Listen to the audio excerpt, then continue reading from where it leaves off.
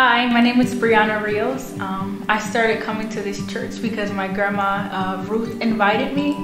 Um, I originally came just to visit and I just ended up staying here and making it my home. Ruth suggested that Alex and I, my husband, go to um, one of the small groups, the young couples one, so we did. I went to about one or two of the small groups and then I decided to come to a one of the Sunday services.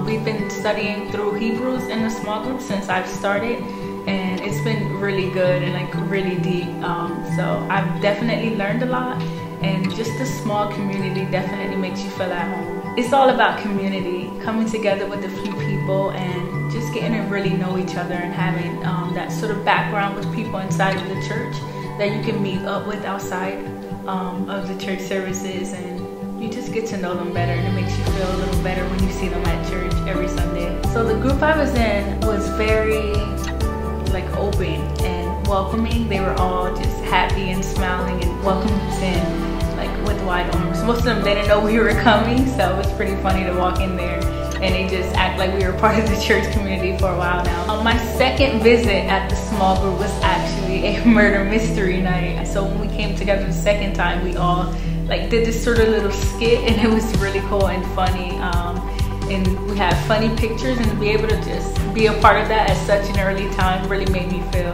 welcomed and um, it just really broke the ice and getting to know everyone. I definitely would encourage anyone to join a small group. It's just really good to have um, a little small group you can go to outside of the church to make you feel at home and connect with more people.